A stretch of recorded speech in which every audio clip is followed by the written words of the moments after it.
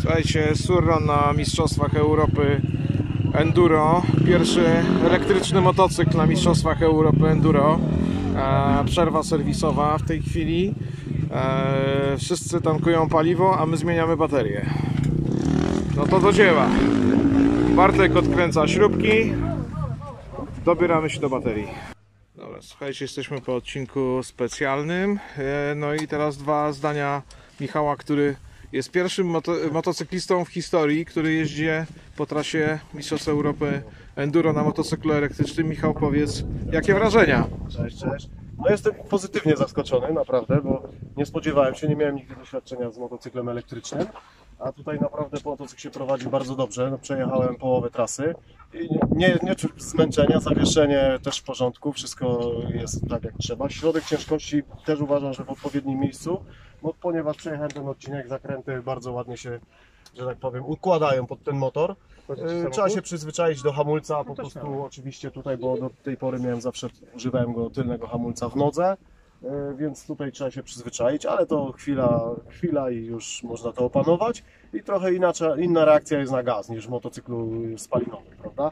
Ale naprawdę jestem zaskoczony pozytywnie i tak jak powiedziałem już, podoba mi się to jazda motocyklu. Myślę, że, że każdy, kto spróbuje, będzie, będzie po prostu zadowolony. Super, Także polecam. super Michał, dziękujemy, trzymamy kciuki za kolejne odcinki przejechane w dobrym tempie, a my wymieniamy baterię Dziękuję bardzo. i lecimy dalej. Dzięki.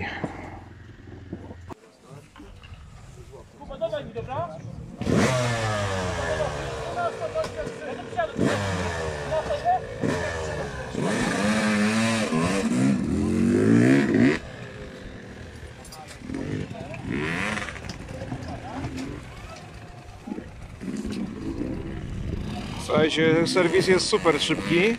Okazuje się, że bateryjkę można wymienić naprawdę migiem. Trwało to może dwie minuty. Także podpinamy kabelki i rider na maszynę.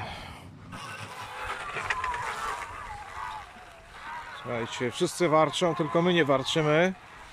Surron na kolejnym odcinku specjalnym e, po trasie Mistrzostw Europy w Enduro.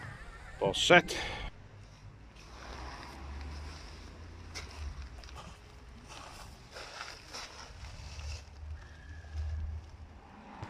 E, No, witamy ponownie. To teraz jesteśmy po kolejnym odcinku specjalnym. Zjechaliśmy już e, do naszej strefy serwisowej i Michał, kolejne wrażenia z kolejnego odcinka, Na jak się jechało. Na mecie, to najszczęśliwsze. Sprzęt nie zawiódł, sprzęt ok.